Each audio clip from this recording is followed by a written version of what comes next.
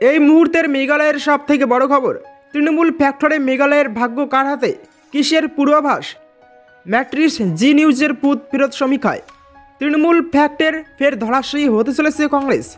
মেঘালয় নির্বাচনে এবার কোনো দলই সংখ্যাগরিষ্ঠতা পাবে না বলে পূর্বাভাস ম্যাট্রিস জি নিউজের বুথ ফেরত সমীক্ষায়।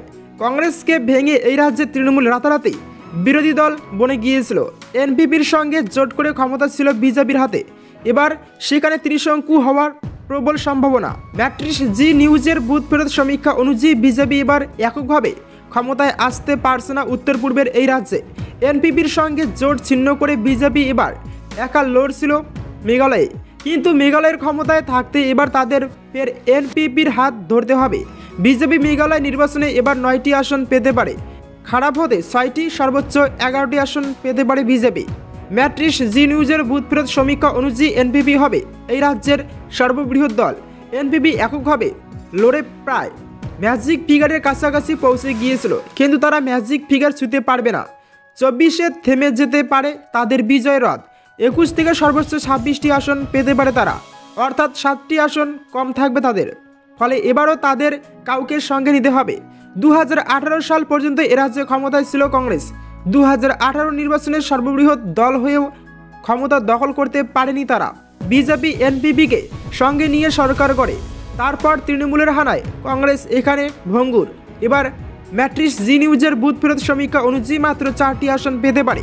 খুব ভালো হলে ছয়টি পেতে পারে কংগ্রেস। আর খারাপ হলে তিনটি। ফলে কিং মেকার হওয়ার সম্ভাবনাও তাদের থাকছে না। তৃণমূল ফ্যাক্টরে তারাই বেশি ক্ষতির সম্মুখীন হয়েছে এ রাজ্যে। তৃণমূল কংগ্রেস এবারে নির্বাচনে কিং মেকারের ভূমিকা নিতে চলেছে মেঘালয়ে। ম্যাট্রিস জি নিউজের বুথ ফেরত সমীক্ষায় তেমনই আবাস মিলেছে। তৃণমূল কংগ্রেসের এ রাজ্যে উত্থান কংগ্রেসকে ভেঙে, আর এ রাজ্যে প্রতিনিধিত্ব করে তারা বিজেপিকেও টেক্কা দিতে পারে। আট থেকে তেরোটি আসন পেতে পারে। সেক্ষেত্রে তারা কিং মেকার হয়ে উঠতে পারে দু হাজার নির্বাচনে। এই সমীক্ষায় তৃণমূল সহ অন্যান্যরা বাইশটি আসন পেতে পারে বলে জানানো হয়েছে। এবার মেঘালয় বিধানসভা নির্বাচনের লড়াই মূলত সীমাবদ্ধ থাকছে এনপিপি বিজেপি ও তৃণমূল কংগ্রেসের মধ্যে। ম্যাট্রিস জি নিউজের বুথ ফেরত সমীক্ষা অনুযায়ী কংগ্রেস লড়াই থেকে ছিটকে গিয়েছে ষাট আসনের বিধানসভায় ম্যাজিক ফিগার একত্রিশ।